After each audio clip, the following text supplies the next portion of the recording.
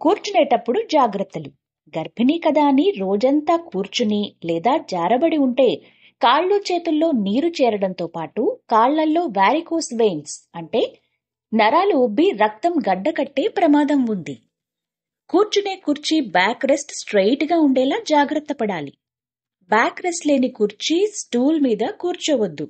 కుర్చీలో నుంచి లేచేటప్పుడు అమాంతంగా కాకుండా కాస్త నెమ్మదిగా లేవాలి. కూర్చున్న ప్రతి అరగంటకొకసారి లేచి అటూ ఇటూ కదలాలి. నులుచునేటప్పుడు జాగ్రత్తలు.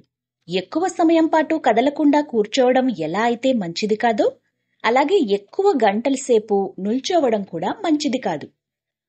Occupational and environment medicine research ఆధారంగా అత్యధిక సమయం పాటు నులుచుని పనిచేసే గర్భిణీలకు పుట్టే బిడ్డల్లో లోపాలు వచ్చే అవకాశం గడువు ముగియక ముందు బిడ్డ పుట్టడం తక్కువ బరువుతో పుట్టే అవకాశం ఉంది. అందుకే ఎక్కువసేపు నిల్చోకండి. ప్రతి అరగంటకొకసారి రిలాక్స్ కావాలి. నిల్చునేటప్పుడు కూడా నడుం పొట్ట వంచకుండా భుజాలు నేలకు సమాంతరంగా పెట్టి కాళ్ళ మధ్య కాస్త దూరం ఉండేలా నుంచోవాలి. పడుకునేటప్పుడు జాగ్రత్తలు. మీకు తెలిసిందే కదా ప్రెగ్నెన్సీలో ఎడమవైపుకు మాత్రమే తిరిగి పడుకోవడం వల్ల బేబీకి మదర్కి ఇద్దరికీ మంచిదే. కడుపుతో ఉన్నారు కదా రోజంతా పడుకున్నా కూడా మంచిది కాదు. అందుకే కేవలం రాత్రివేళ ఎనిమిది నుండి పది గంటల పాటు మంచి నిద్ర. అలాగే మధ్యాహ్నం లేదా బాగా అలసటగా ఉన్నప్పుడు కొంచెం రెస్ట్ తీసుకోవాలే తప్ప మంచానికి అతుక్కుపోకూడదు.